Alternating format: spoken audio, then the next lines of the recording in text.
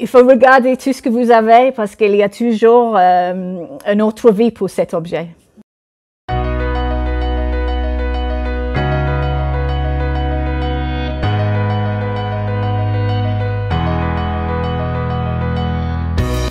Bonjour, bienvenue à la médiathèque Creuse Confluence de Chambon-sur-Vouesse.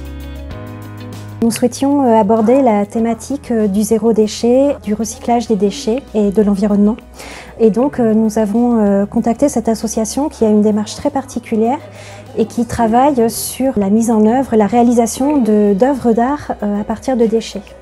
Moi, je suis Tracy Shaw, je suis la présidente de l'association Pika Pika. Nous sommes un collectif d'artistes qui travaille uniquement la, la récup c'est-à-dire que nos matériaux, c'est le recyclage de, métal, de plastique, de, papier, euh, de tout ce qui, est, euh, qui, passe en seconde vie en fait.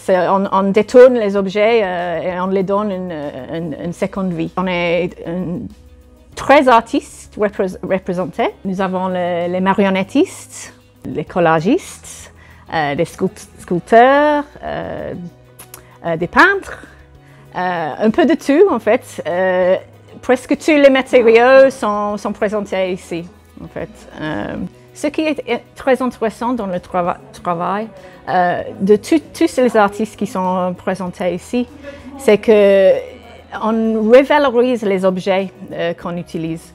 En fait, on voit des, marionnettes. Euh, dans les marionnettes, on voit les boîtes de conserve, que, on voit des, de papier qui autrement euh, auraient été jetés, dans la poubelle.